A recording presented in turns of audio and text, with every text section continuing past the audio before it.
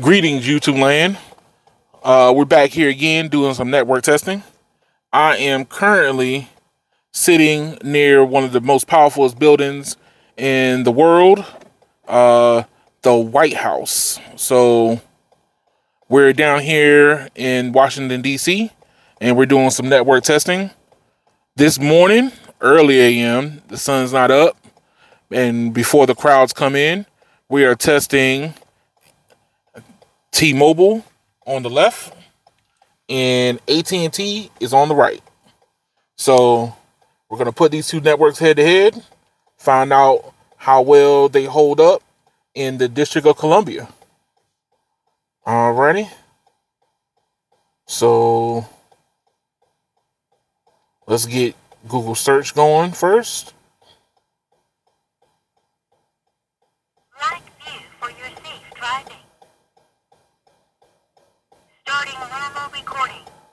As you can see, I got to make sure that I have multiple cameras going on for safety.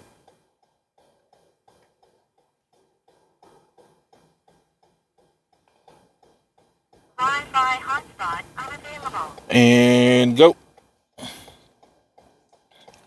All right, so T-Mobile is on the left. AT&T is on the right.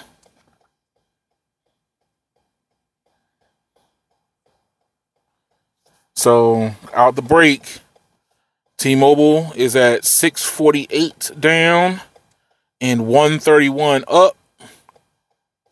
And AT&T is at 10 down and 9 up. That's not a good showing.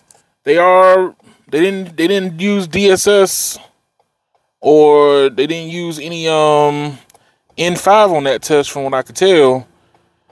N41 is still active for for T-Mobile, along with band 66 at 20 megahertz. AT&T is running band 66 at 10 megahertz. So AT&T needs to show up before they get showed out. So next one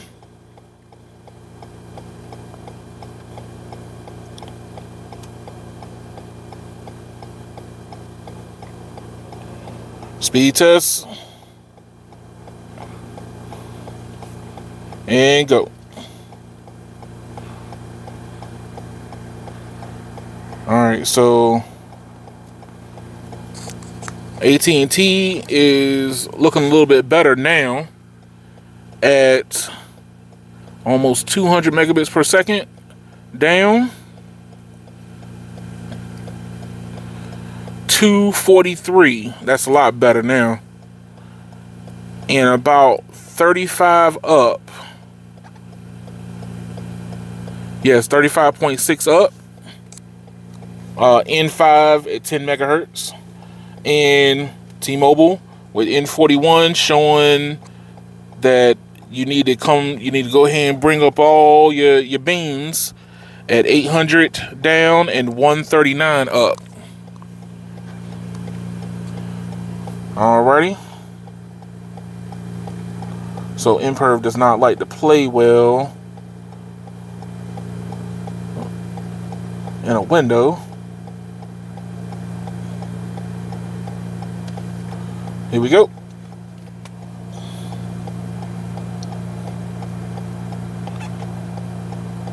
So AT&T is trying to get something. Not much, but they're trying.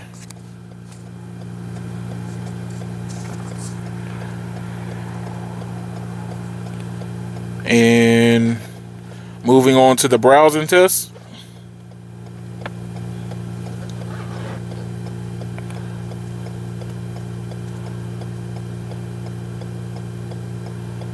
That extra capacity is allowing T-Mobile to have um, very, very low browsing speeds in comparison to what AT&T is doing. Moving on to the video test.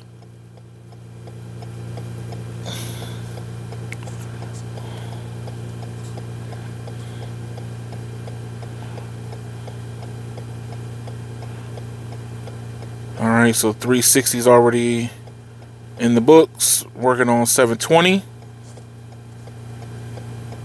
Remember, the next test actually shows what we can do with this this download speed. So stay to the end.